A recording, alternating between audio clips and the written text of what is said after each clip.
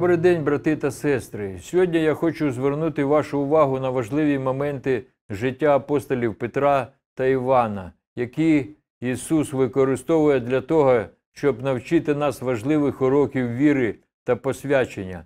В Іоанна 21, 24 написано: це той учень, котрий свідчить про це, який написав оце, і знаємо, що його свідчення правдиве.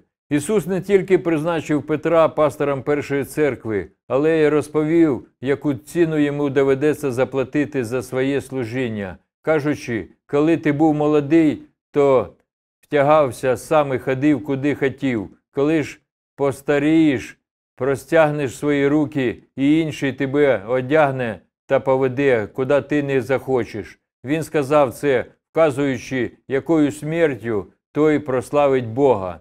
Петро, дізнавшись про свою долю, запитав Ісуса про долю апостола Івана. Господи, а це що? Відповідає йому Ісус. Якщо хочу, щоб він залишився, поки прийду, що тобі до того? Ти йди за мною. І рознеслося це слово між братами, що той учень не помре. Але Ісус не сказав йому, що не помре. Але якщо хочу, щоб він залишився, доки прийду, що тобі до того? Апостол Іван, автор Євангелія трьох послань та книги Откровення, був єдиним з апостолів, хто не помер мученицькою смертю, але це не робить його служіння менш важливим. Тож зосередимося на тому, до чого закликає нас Бог, і вірно йтимемо за ним, незалежно від того, якою буде наша подорож.